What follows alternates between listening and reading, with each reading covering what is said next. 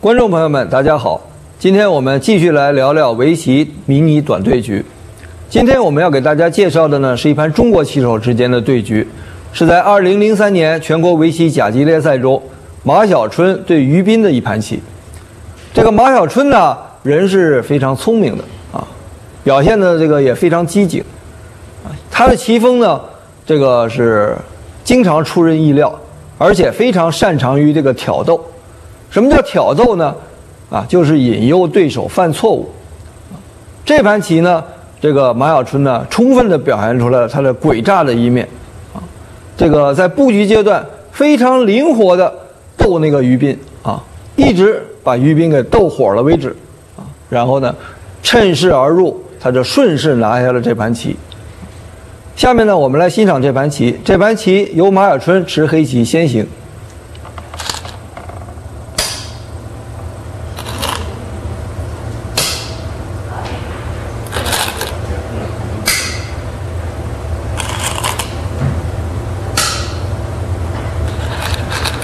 黑棋呢都是在这里守角，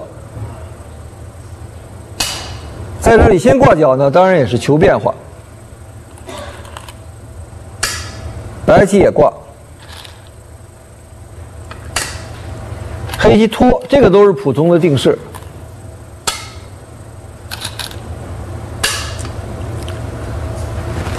下一步棋，如果白棋在这里接，黑棋拆出来。这样走呢，虽然是定式，但是被黑棋这样飞压一下，白棋都跑到上边去了啊。所有的子这个都跑到上边去之后呢，效率就显得不是那么很高。所以呢，这个时候于斌呢也采取这个求变化的下法，反过来加攻这个黑棋啊，这个也是很正常的布局，过去也经常有人下过。通常情况下呢，遇到白棋。这一家，黑棋都是在这里大飞啊，然后白棋从这里靠出来，这个形成一个大型定式的变化。这个棋呢，这个很有意思在哪儿呢？就是马晓春现在呢，也可以按照正常的布局和定式手法去走啊，但是他开始呢，有意识的呢，寻求变化，下出了非常有意思的棋。他多走一路，普通情况呢，这步棋都是在这里大飞的。多走一路，什么意思呢？他就是引诱白棋在这里靠出，黑棋搬，白棋退，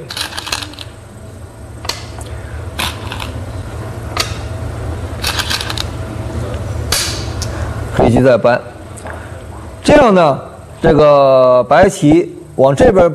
这个断呢是必须要补的，但是如果补的话，无论补在这儿也好，补在这儿也好，黑棋这个子都比放在这儿要好得多了啊！这个是大飞这个定式中经常出现的变化，因为它远了一路，这个棋白棋走起来就不舒服，这个子就不容易受到伤害，所以白棋呢，炮，就很容易上当。这个变化呢？也有一个名字啊，叫做长刀定式，很有意思。大家都知道呢，这个大飞这个变化呢，叫做腰刀定式，这是日本棋手起的名字。这个多往远远了一走，叫做长刀啊，就把那个刀呢又多放宽了一尺。这个定式呢是很很早以前，这个大概有几十年了啊，是由日本的工藤纪夫九段发明的。这个工藤纪夫九段对这个长刀这个变化非常有研究，而且这个写过许多关于这方面的论著。刚才说过了，对于这个长刀，白棋不能从这里靠出来，一靠就要上当。白棋如果在这里飞，也正好被黑棋从这里盖住啊，这个黑棋也很舒服。白棋如果从这里拖。黑棋搬，白棋退，黑棋接住啊！这个子儿呢，离黑棋的外势太近了，白棋也不能满意，所以这个时候呢，拆一是正招。白棋拆一的时候呢，当然最希望黑棋或者跳这个，或者走这个，这样呢，这个局部形势就缓和了，就没有战斗的发生的余地了。当然，黑棋这样下呢，也没有什么不好。这个也是很普通的，等于走了两个棋形，限制这两个子。白棋具体应该怎么进行，也看不清，这是很正常的一盘棋。但是这个时候，这个刚才说过了啊，这个要挑逗嘛，啊，所以你不挑逗对方，对方就不会犯错误。靠这个，这个继续挑逗，靠这个呢，白棋。这个是俗手，黑棋挡住，白棋打吃，黑棋接住，白棋如果接这个，黑棋挡住，这个黑棋太厚了，白棋断的时候，黑棋还可以跳出，继续这个和白棋作战。如果白棋走这个，黑棋就把它蒙进去，这个棋，这个白棋全在里边，黑棋外势太好了。如果长呢，黑棋挡住，将来三三还要靠了连扳，白棋脚不干净，外边这两个也不安全，这两个子也受到了威胁。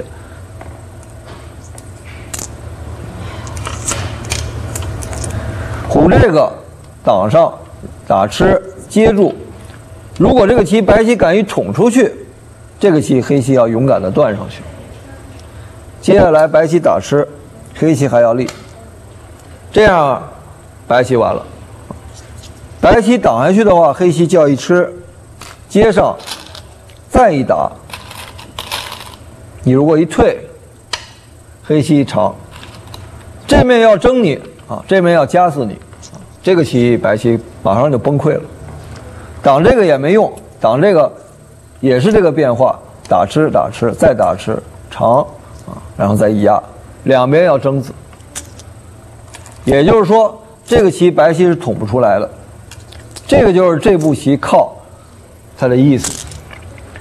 那我们先说结论，这个棋白棋应该走什么呢？这个在黑棋争子有利的情况下，刚才我们屡次提到了争子了啊，白棋应该冷静的尝一下，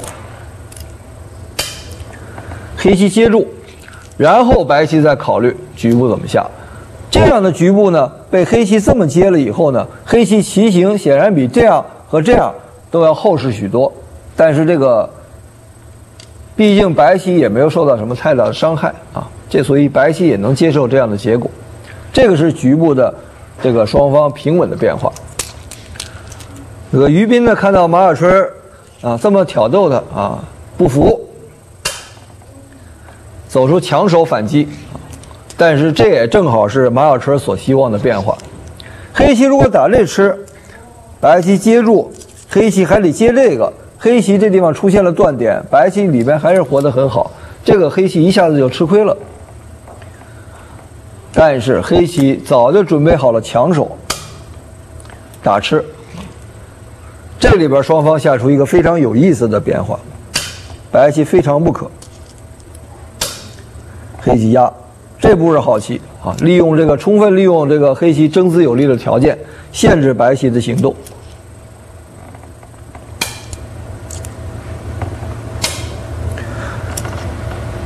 刚才说过了，不能走这个啊，走这个被黑棋打吃，你只好接，再打吃，你只好长，再一长，完了啊，这边要争，这边要吃，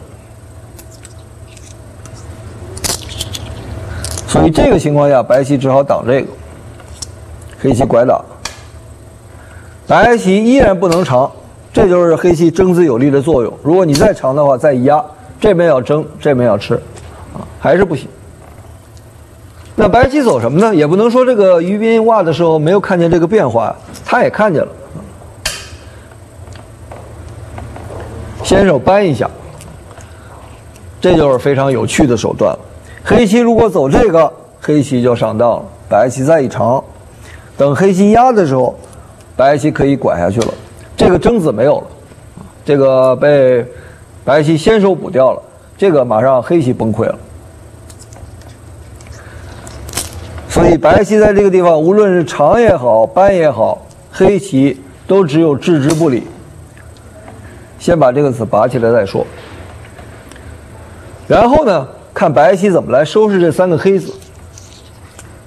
实战中呢，白棋是长的这个。假如这步棋去挖打，看着好像是紧了黑棋一气，不让黑棋在角里脱先，但是这一气撞的是非常有代价。这个黑棋这个压的时候，白棋难受。白棋无论跳这个还是弯这个啊，这个将来都有问题。黑棋先手跳，白棋挡，黑棋拖，白棋只好搬这个。黑棋反搬是妙手。如果你从这儿打吃，黑棋一退，吃这一个子和从这里吃通是一样的，这个和在这儿也是一样的。如果你从这里打吃啊，不管你在哪儿啊，黑棋可以卡这个，你不敢提，你如果提了这一打，上面那个子又被争掉，啊，这一打再一争，棋筋就被吃了。所以这个地方白棋必须要给自己留一口气，不能撞击这一口气，这个是这一型变化的关键。白棋只好长，寄希望于什么呢？希望黑棋跑这个。现在黑棋在压这个时候，白棋可以顶住，啊，你这个没有争子问题，这一气撞不得啊，这一气撞完了，外边就要出棋了。这样呢，等于白棋呢里外吃通了，黑棋这两个子不敢要了，但是意外的，黑棋也并不是不能下。拖一下是妙手，是硬手，看你怎么硬，看你要角还是要吃两子。如果走这个，黑棋顶住，白棋只有做活，黑棋立一下，只要爬，黑棋比如说就爬这个。啊，然后呢，比如说从这搬。这个棋有一个什么讨厌的地方呢？就是这个，它可能是先手。这个子是先手的话，这个地方马上就要出棋，直接不由分说就把它争掉。但是这个如果是先手，白棋只能在外边补棋的话，这个扑变成了黑棋的无忧劫，也就是说靠这个无忧劫帮忙，黑棋在左边活一块是没有问题的。这也就是黑棋拖三三的时候，白棋为什么不从里边搬的道理？你从里边一搬，他顺手把这两个救出来，你还吃不掉他，那白棋可就什么也没得着了。所以黑棋拖的时候，白棋把这两个吃掉，这还是比较正常的下法。下一步棋，如果黑棋走这个，白棋走这个，黑棋把这打吃。这个角上还是黑的，啊，但是白棋得一个先手，这个地方也很厚实，啊，白棋可以处理外边去了。这个黑棋下的也很机警啊，角里活角虽然很大，但是我不活，啊啊，这个没有，我重视这个外边的实控，啊，这个还是非常厉害的下法。这一断之后，白的这个子动不了了啊，因为黑棋这个地方靠着这个地方明摆有个先手打，白棋要一动，黑棋就敢硬吃，这面就全变成了黑控。白棋也没办法了，说这个东西不能动，也不能硬来啊，啊，去搬一下，希望把角能全吃干净。其实这个棋呢，在这里走也是非常大的一步棋。这我不去跑这个子了，我限制你的发展，啊，让你在这儿做活，你活了就活了吧，然后我再去占其他的大场，这个倒也是一盘棋，这个也且要慢慢下的。但是无论是怎么说，吃这个角总还是蛮大的。黑棋呢现在不能无缘无故的全死掉，要有点借用，先断一下。啊，这个断也很妙。白棋只能在这里打，给棋走。白棋顺位如果接这个的话，那黑棋放着这一个大活角，黑棋就太舒服了。白棋这个地方并没吃到多少东西，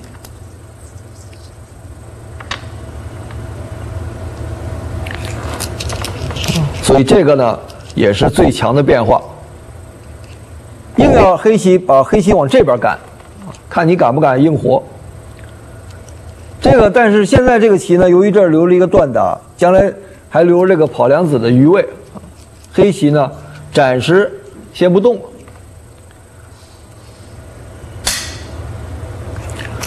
这个也是绝好点，其价值呢一点都不比这个角吃了小，啊，我们现在看到黑棋把这个角弃了之后，这儿换到非常大的一步棋，这儿又换到绝好的左右兼顾的一个大场啊，形成了一个类似高中国流式的这个广阔阵容。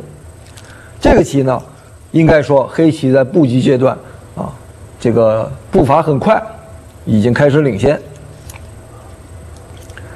这个地方很奇怪，就是说或早或晚啊，这个地方还得走。你如果白棋打吃，被人这么走了之后，黑棋吃这个的话，下一步他要接这个了，白棋肯定受不了的。白棋只好走这个，那被黑棋一小尖，这个里边基本上应该算。活皮了，所以这个角呢，战斗还没有完全结束。还有一个就是白棋难受在这儿，他不敢了，跑这个，跑这个怕被什么硬压了什么之类压死，因为黑棋这里有一个绝对先手的打，所以下成这样，一看黑棋这边模样太大了，白棋防患于未然，先把这两个提掉啊，让你这里边活不成，同时呢。让你这个也变成后手，这样白棋就有了活动这个子的余地。这个时候呢，棋局很微妙，黑棋占据了广阔的形势，白棋占据了一个超大的肥角，形势说不清谁好。但是黑棋呢，现在下出了很有意思的招法，挑逗。啊，这个是马小春这盘棋一贯的政策啊，这里边老给你留着点味道啊，不干不净。这个其实用意很明显啊，你不理我，我就跳进去了。下一步你再不理我，我又这边又吃去回去了，就地做活了啊，一手比一手大。你要理呢，你就挡在这儿，我这班又是先手，你还得理，不理我跳进去或者长进，你又全没了。有了这两个交换之后，这个虽然死干净了，但是这两个子是有用的，它可以走到这儿了。下一步棋，假如你去不让他进角，他还可以把这接上。这些都是这个很有用的后续手段。这个接了之后啊，由于这儿有一个靠，这儿有断，这儿有加，等等等等，这个地方已经活干净了，所以能够利用到先手利用到这两下。黑棋总是便宜的，这个地方呢，马尔春也是打了一场心理战，他就是认定了这个于斌呢不会在这儿再赢，其实要走这个白棋就硬一个也没有什么大不了的，战斗到转到这边去了，就算全局黑棋稍好，这个棋好的也很有限，哎，但是这个心理战是非常厉害的呀，他走这个时候于斌不肯让了，凭什么我在里头再应你一个？有本事你在里边活去，这是我子儿多的地方，啊！我要采取主动，要猛攻你。这个棋走了之后呢，真要说怎么攻，这个也还真看不清，啊！这个黑棋要直接这么跳进来，是不是就能活？也有一定的风险，啊！所以马小春呢，继续挑逗，试应手，打吃，看你肯不肯接，这个是关键。如果你肯接一下，白棋将来这个小尖就有可能变成先手。这个地方挑尖完再吃这个，这个地方基本就活了啊！或者哪怕再跳，这也就看得比较清楚了。这个能打到，这个将来能利用吃这个子做文章，黑棋就比较容易活。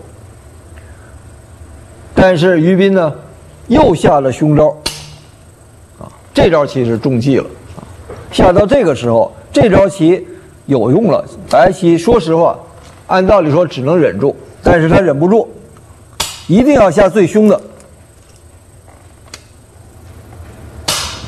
要一起吃，啊，这个就中了马雅春的诡计。但是这个诡计呢，不是明目张胆的诡计啊，这里边包括着非常深的计算。这个时候一粗粗一看，好像黑棋怎么都跑不掉了。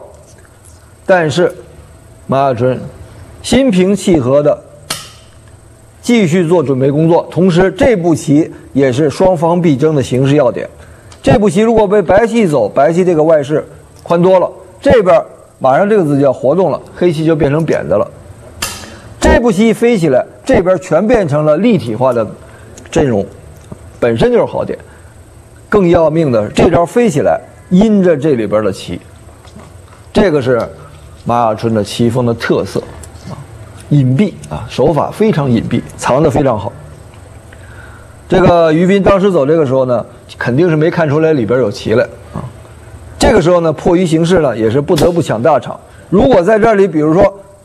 不管你在哪儿再补一个，这面是没棋了，但是这面还要轮到白黑棋先动手，这个黑棋这右半盘这形势不得了了，没法看了，这个白棋受不了，所以白棋抢这个大场也是一种心情，但是这个时候，这个叫所有的挑逗战术都到位了。啊，对方已经上钩了，马小春开始收网。先搬这个，这个是先手，白棋只有这样去演。下一步棋妙手，一搬，说这个搬怎么是妙手啊？看不出来，过不去啊！哎，过不去也是妙手。如果这个棋你单走这个，白棋立，角里的死活是一样的，白棋这里边的宽出两气来，这宽出两气来和这边的对杀有极大的关系啊！这就是马小春。瞄着对手弱点计算准确的地方，先搬，搬的时候白棋已经没话讲了啊！这个不能打这吃，打这吃被这么弄一个先手打劫，活哪受得了？人家随便在外边哪走两手，黑棋无忧劫啊！白棋已经完了，硬着头皮只能挡下，黑棋从这里打，妙，白棋只好提掉，黑棋这个时候再一冲，这个时候白棋的防线。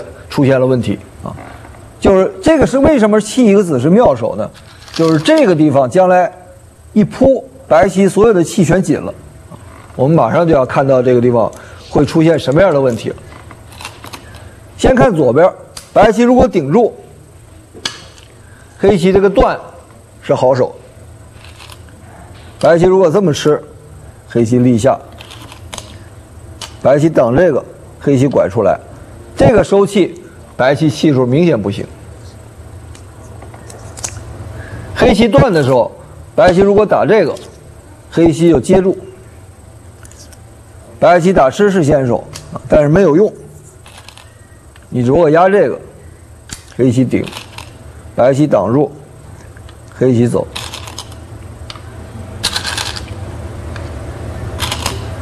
白棋最凶的只有连扳收气，黑的补住，白的补住。双方同行，黑棋先动手收气，这个毫无疑问对杀是黑棋有利啊。这个地方谁先动手，就对方就倒霉了。这个是左边的一个比较明显的对杀变化，就是这个棋冲的时候顶不住，顶不住怎么办？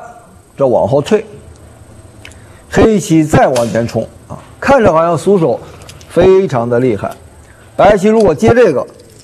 黑棋拐出去，白棋如果继续封，这个时候就看到这个妙手的作用了。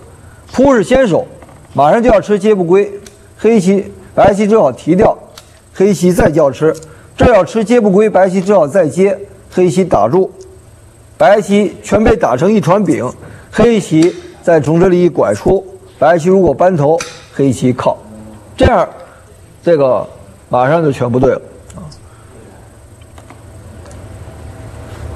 这个白棋只好走这个，这样黑棋扬长而去。如果挡这个，这是一气吃。这白棋这个地方由于气紧啊，是一点办法也没有了。这就是当初这个一路扳啊这招棋的作用，非常厉害的，等于这白棋上边一口气都没有，确保了黑棋这个卡是先手啊。同时这招棋呢，也放在了最好的位置上，所以黑棋顶的时候，白棋不敢接这个了，只好。记住这个气，黑棋断，这个棋白棋真是糟糕啊！现在还不能到这儿来宽气。如果你在这儿宽气，且不说你是死的还是活的啊，这个地方不对啊！他一扑紧你的气之后，你这个地方全没有气，一打吃只好接住，再打吃还得再接，黑棋断打。白棋一爬，黑棋一长，这边要吃这个，这边要争子啊，白的又完了。所以这个白棋的这个防线啊，确实是有点单薄。走到黑棋断的时候，白棋已经没有办法了，只好强行压住。黑棋扳，这个地方是马雅春是可以说是算无一策，全给你看清楚了啊。白棋再顶住，黑棋再扳，毫无办法啊！白棋一点办法都没有。白棋如果走这个，黑棋简单的这做眼就可以了啊！不管你打不打这吃啊都没关系。等你去眼的时候，他一点，你接上的时候他一退啊，白棋被吃了，这个就里外的全完了。所以无论如何不能让黑棋做这个眼。白棋只好点这个，但是遭到了黑棋一爬，黑棋再接上，白棋没办法紧气。啊，这个是要命的、致命的啊！如果你紧气被他一断，你只好退，再断打，只好长拐打，黑棋一长，外边出现了争子。啊，再压这个，这个完了，你只好搬，再拐吃。你走再走，这个对于高手来说，这都是一目了然的变化。再一拐头，这面要吃这个，这面要争这个，彻底崩溃。也就是说，白棋没有办法在里边紧气，而只好到外边去补棋，那还下什么呀？啊，实战中下到这个时候，白棋再追了一吃，黑棋接上，白棋一看要想和那个对杀，只能说什么？先宽这个气，让黑棋把外边吃掉，白棋再去。铺这个窝窝囊囊的结啊，这个很难受得起啊。这个是虽然是抵抗，但是肯定不行啊。所以下到这个情况，虽然只有六十五手，但是于斌已经看清楚了。由于这个有断，这边对杀白的已经不行了，所以于斌只好认输。这盘棋呢，就给大家介绍到这里，谢谢大家收看，再见。